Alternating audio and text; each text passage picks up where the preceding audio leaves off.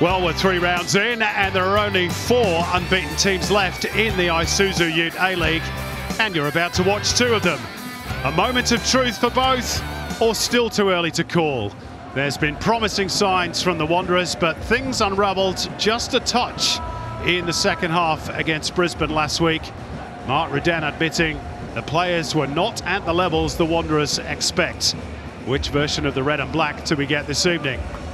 The Jets, along with City, the only two teams to have made the perfect start, albeit, of course, Newcastle had played one game less. But they left it late against Perth, and Wellington had plenty of chances last week before departing back across the Tasman with their tails between their legs.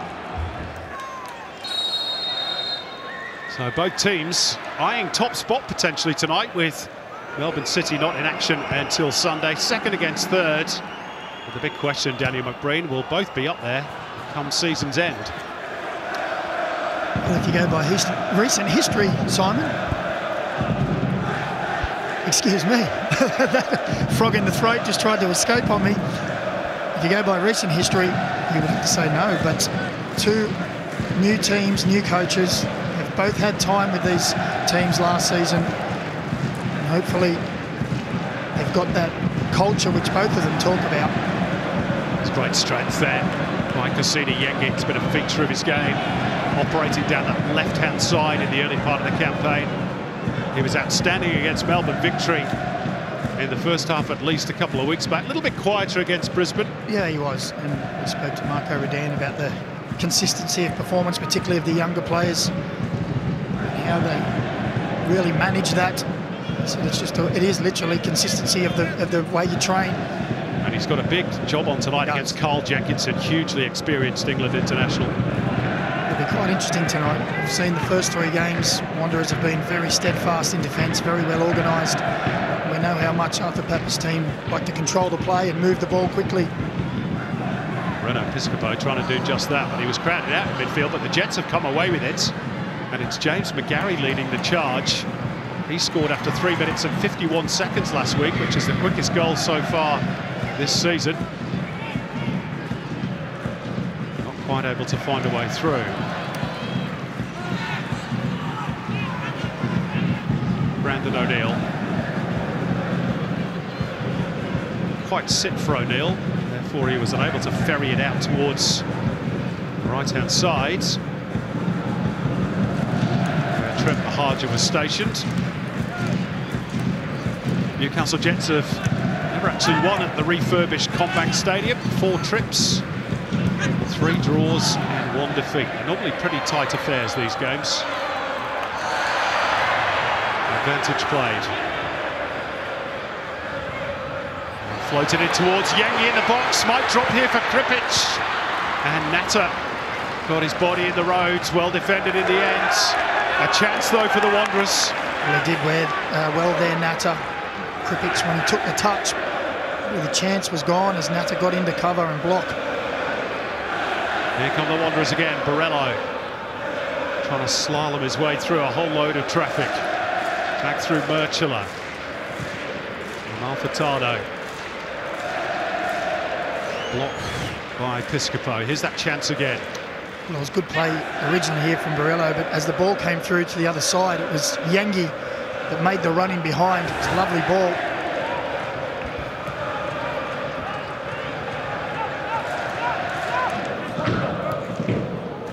Further back by Nieuwenhof for Marcelo.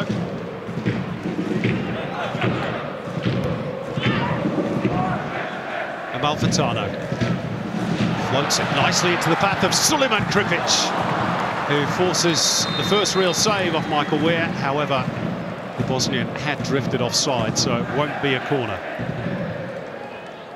Well, we spoke in the pre-game about his movement to and, and then away, and I tell you what, he's not offside.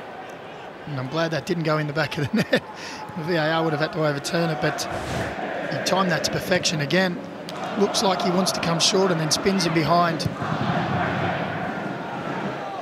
Jurman. Leaving it for O'Neill. Buhagiar on the right. And it's going to be a corner off Marcelo.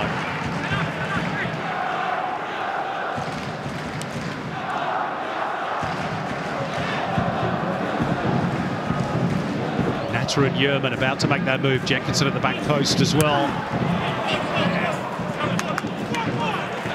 Make that three corners in a row. That was that man again, wasn't it? He wasn't taking any chances. Thomas coming in behind him. Work short this time. Becker, Dartsmelia. Useful centre again, and it'll pop out here for Angus Thurgate to drive it.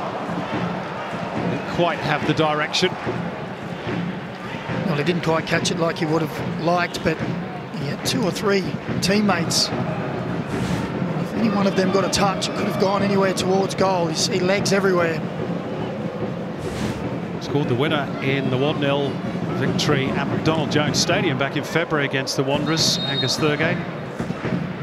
He has three in nine games against the Red and Black, which uh, is his best return against any A-League outfit.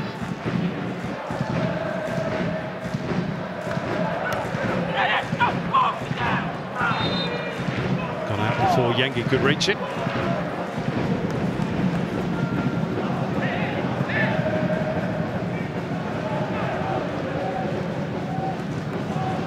All the way back by Thurgate.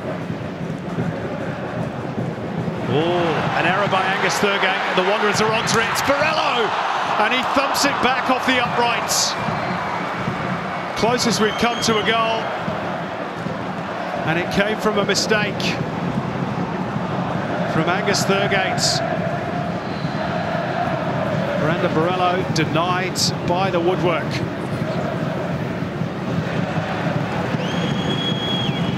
Well, it was a thumping strike in the end from Borrello, but it came from an, an errant pass from Angus Thurgate, looking to play Natta, but it comes off the side of the foot, and Borrello moved it on that outside and thunders it against the post.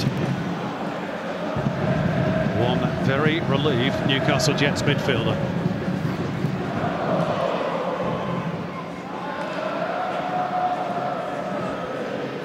Mrcela.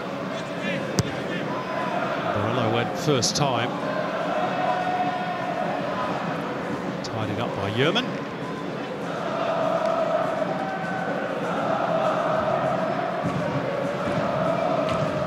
Jenkinson.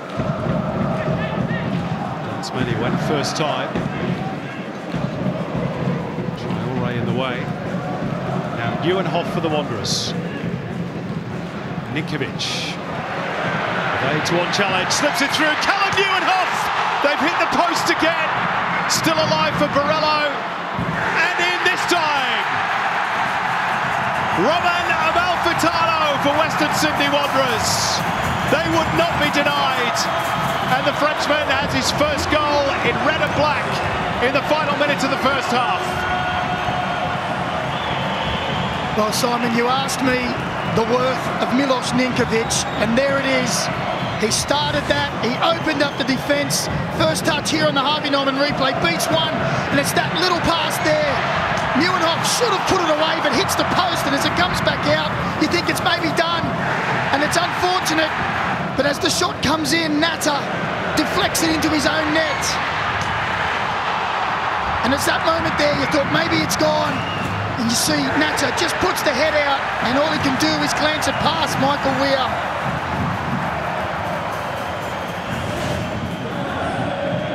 Well, that was the touch that wrong-footed Michael Weier. I'm sure Romain Amalfitano will try and claim that one.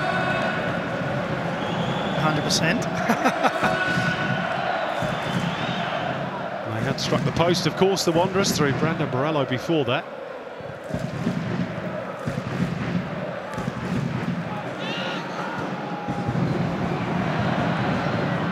Michael Weirs, of course, the big test of the Wanderers and they weren't quite able to pass last week was to go on with it in the second half. They fell in a bit of a hole second 45 against Brisbane and Marko Rudan will be anxious to avoid a repeat. Yeah, without a doubt. I'm sure he'll remind them that the standards weren't good enough last week. And as he said earlier, Ben told us it was a morgue, their training.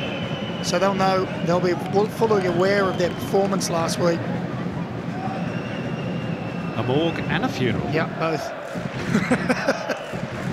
Pretty miserable place, the Wanderers dressing room.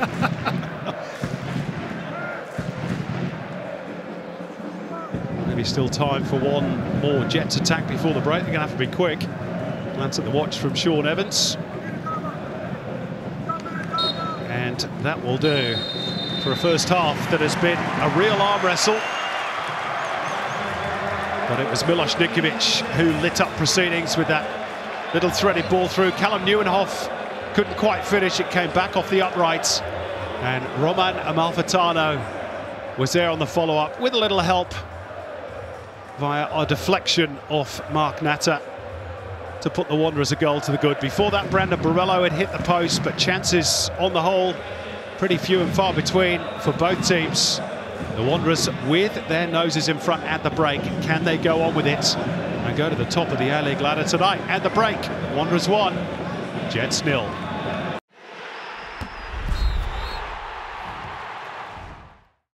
Newcastle made a change at the break. Last year's top scorer with 13 goals, Beka Mikeltadze, who missed out against Wellington last week through injury, is on in place of Trent Buhagiar. So a little bit of a change for Arthur Papas. A bit more of a focal point in attack. You'd imagine Sotirio and Piscopo to look to provide the bullets out wide. And let's be honest, the Jets need to load the chamber a little bit more than they did in the first half when they managed just one rather tame shot on target, Daniel McBreen. Yeah, well, we mentioned that they didn't really use the pace of Buhagiar and Sotirio in that first half, so obviously Arthur Papas has said, well, we need to change that up. And you see Reno Piscopo coming out onto this left-hand side, and we know he likes to come inside as well and act as a second 10, so maybe can create an overload in those areas to really trouble that in the back of Nieuwenhof and Amalfitano. Oh dear, Shaun Evans has cleaned up the goal scorer, Romano Amalfitano. Now that is a foul. Yellow card, yellow referee. card. Let's see if we can get a replay of that. Meantime, the Jets unable to make further progress through Piscopo on the left. And that's a foul. to Amalfitano again. There we go. Come on, Shaun. That's a blatant body check. He hasn't missed him, has he? He's a big fella as well, Shaun Evans. That's becoming a habit now with these referees, isn't it? Yeah, starting to get a little bit of their own back. Traore. You mentioned that big turnover, and of course it's the same for the Wanderers. It does take time, doesn't it, to gel, to understand each other, to find those rhythms.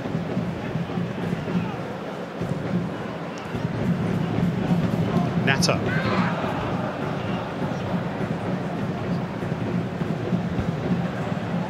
Piscopo.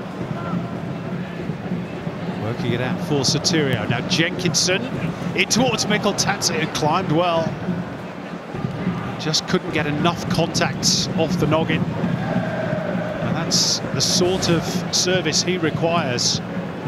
Yeah, that's the danger of the, the man. He's great in that penalty box area. It's a lovely ball in across the six-yard area. And you see Mikeltadze got up early there, really straining the neck muscles to get power behind the ball, but just couldn't guide it on target.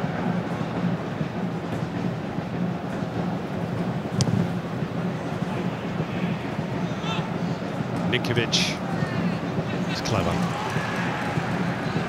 Such great awareness of where his teammates are. Cleur driving through the heart of midfield. Wide right is Borrello, promising this for the Wanderers. Still Brandon Borrello trying to bend it, he's done it! It's 2-0. He has his first A-League men's goal in five years. Hit the post in the first half. Not going to be denied this time. Wanderers two to the goods. Well, Brandon Borrello tonight has not taken a step backwards when faced with defence. Harvey Norman replay shows he picks up the ball one-on-one here, and his first thought is to take him on. Comes inside, whips it with the left foot, and it takes a bounce just in front of Michael Weier, which maybe skips the ball away from him. And I think Michael Weier would have done a little bit better there, but Brandon Borrello, only one thing on his mind, comes inside, assesses the situation, and finds that bottom corner. And just the start that Marko Rudan would have wanted in this second half. Well, Michael Weier will be disappointed to be beaten by that. Brandon Borrello won't care. It's his first goal in the competition since he scored for Brisbane against Wellington back in April 2017. And for the first time this season, the Wanderers score more than one goal in a game. Is that enough of a cushion to take them to the top of the league tonight?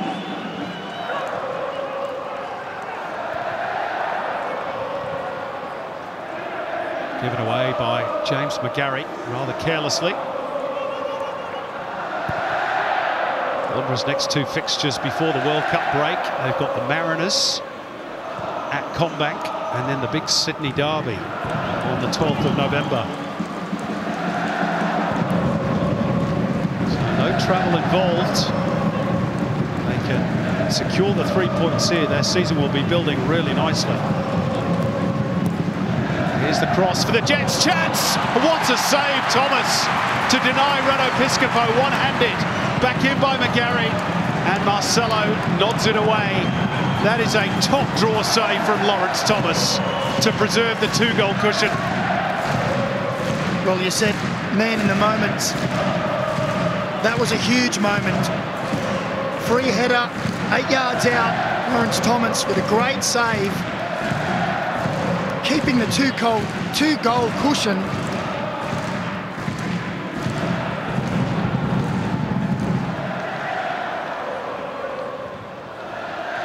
And the first real save in anger he's had to make. He had one routine gather from Sotirio in the first half, and the Jets are going to push on now.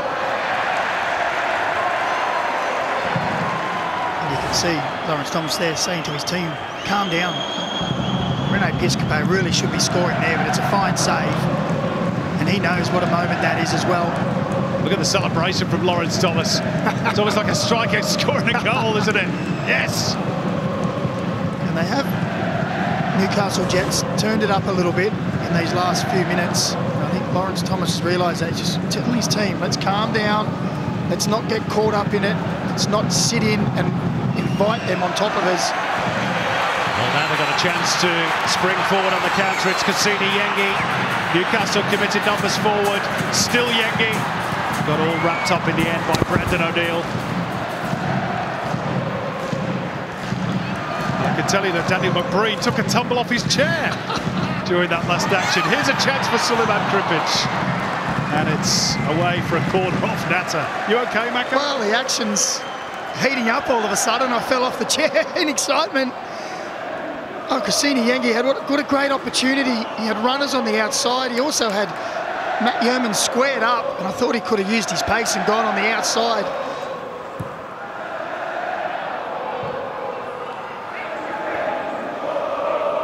Changes of afoot for Newcastle, we are told. Coming up to date those in a moment. Jason Hoffman and Daniel Stynes have been summoned.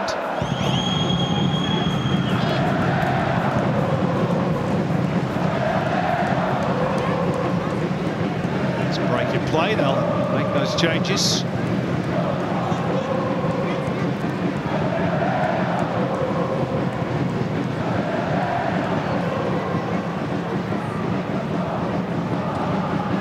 Brandon O'Neill.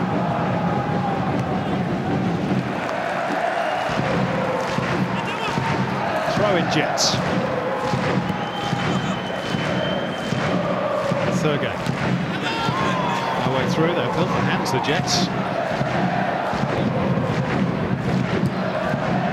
Strong work by Nieuwenhof, but loose ball has favoured Newcastle and Jenkinson in particular. Dartsmelia trying to link up with his compatriot Mikeltadze. Left it a touch short and the Wanderers will carry it clear through Brandon Borrello. Who ignores, ignores Cleur on the right. He's done well. Here's Kusini Yengi. Oh dear. Just got right underneath it, Yengi. What a chance to finish the game off for the Wanderers. Oh dear, indeed. It's a fantastic run. See the changes now.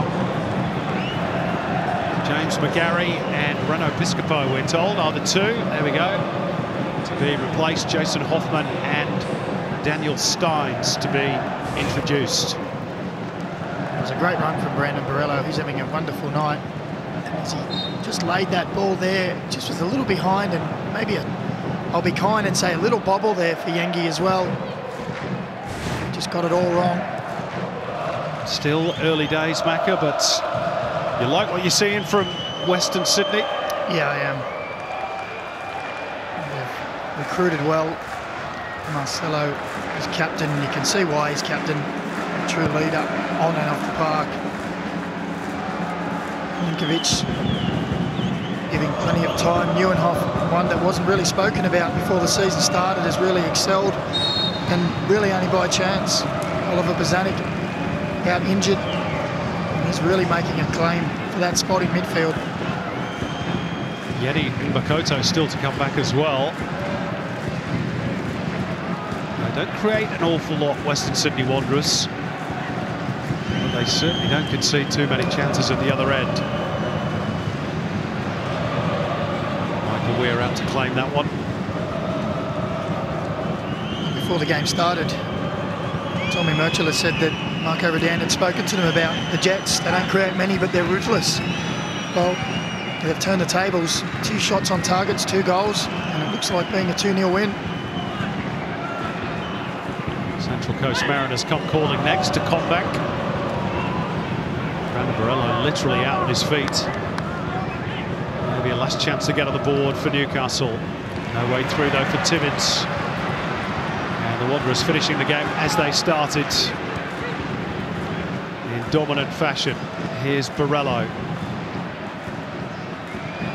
Zac Sapsford to head for the corner and run down the clock.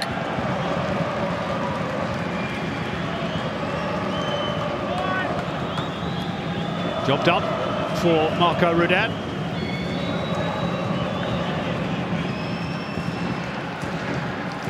His team are going to be top of the shop as of now. Very solid, very professional, very clinical. Two chances, two goals scored, a 2-0 win for the Wanderers, who are back to winning ways as they end Newcastle's perfect start to the campaign. It is still early, of course, but the Red and Blacks starting to believe they are top of the A-League tonight for the first time in two years, with two games in Sydney to come before the World Cup break. The Jets disappointing tonight. They struggle to create opportunities. Amalfitano and Borrello with the ones that mattered for Western Sydney. Full time at CommBank. Western Sydney Wanderers 2, Newcastle Jets nil.